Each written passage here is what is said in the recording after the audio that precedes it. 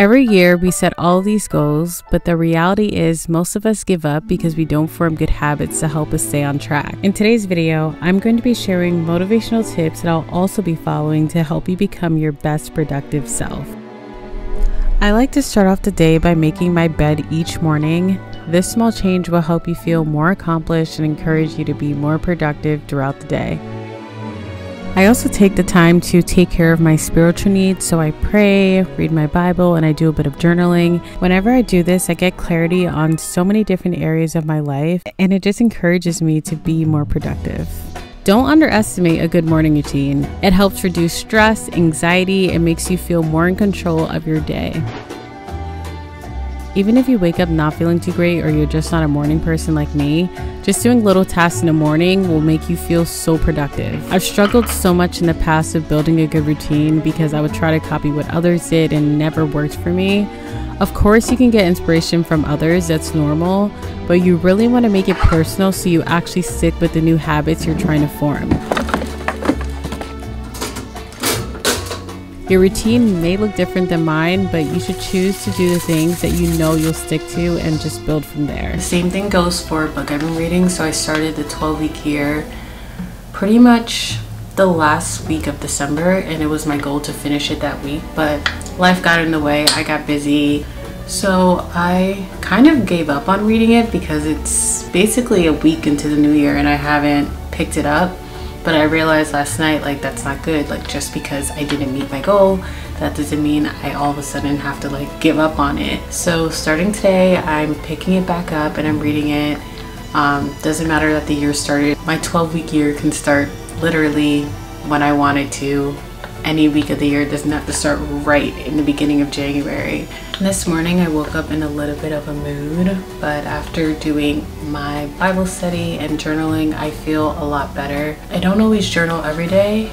Um, that I kind of just do what I feel. If I feel like I need to journal, I'll journal, but if I feel like I need to read, I'll just read. So it really depends on how I'm feeling. Take small steps towards your goal. A small step is better than not doing it at all. I've been wanting to declutter my closet for a while, but because I felt like I had to do a thorough closet clean, I've been putting it off. But then the other day, I remembered it's okay to start small. So even if I do a mini closet clean, it's better than not cleaning out my closet at all.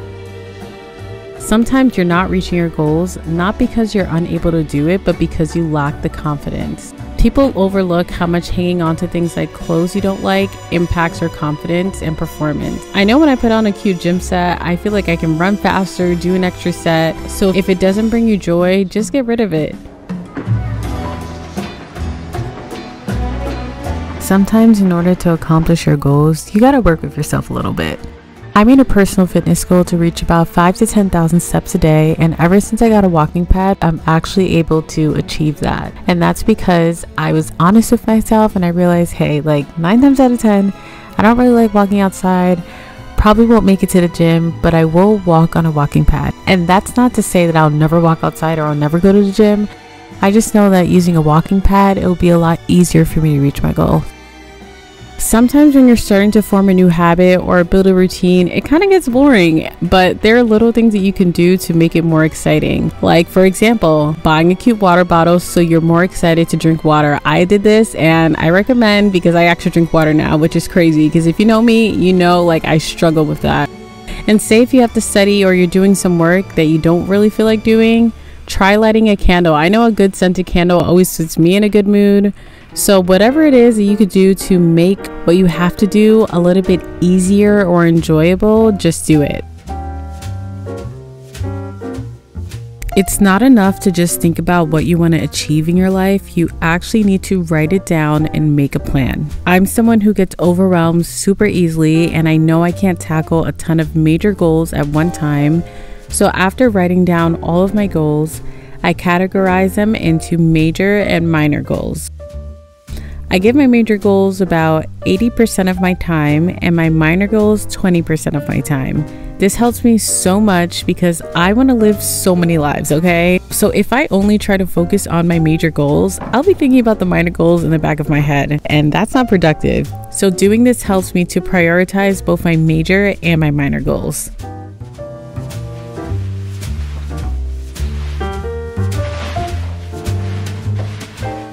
Habit stacking is so important when you're trying to form new habits so you can be your best self.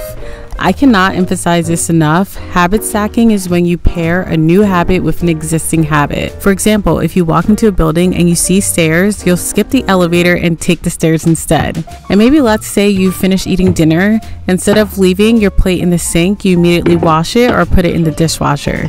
It can honestly be as simple as when you walk your dog, you listen to a podcast. So, the point is, you want to build off the momentum of existing habits, which will help you when trying to form new habits. I want you guys to remember that forming new habits is a journey and it's not something that you're going to change overnight. A lot of the times, the bad habits that we carry have been formed and have been piled up over years and years and years. And it's really difficult to just wake up one day and do a complete 180. Some people can do that, and that's amazing, but I know I personally can't. So, in order to change your life permanently, similar to losing weight, you have to do it slow and steady so you can maintain the new lifestyle you're trying to achieve. So, this is why you should really try to focus on being 1% better each day and try not to make your new habits or goals all or nothing. If you miss a day, if you slip up, give yourself a break. It's okay. Let some pressure off and just focus on getting a little better each day and make actionable goals so you can actually stick with them. Instead of saying, I want to go to the gym this week, say, I'm going to go to the gym four times this week. Instead of saying, I want to drink more water, say, I want to drink 32 ounces of water each day. The more specific you are, the more likely you'll be able to actually achieve the goals you want to achieve, form new habits, and maintain them. Forming good habits take time, so don't be hard on yourself if you're not seeing immediate change in your life. Your life literally could be changing right before your eyes, but you just can't see it yet. Don't go so crazy with goal setting that you completely just forget about the present. Remember, tomorrow has its own worries, so just really try to be present in the moment. And if there are any goals you didn't accomplish in 2023, it is not too late to pick it back up. As long as you make an honest effort towards your goals, you will definitely see change over time, so please be patient with yourself.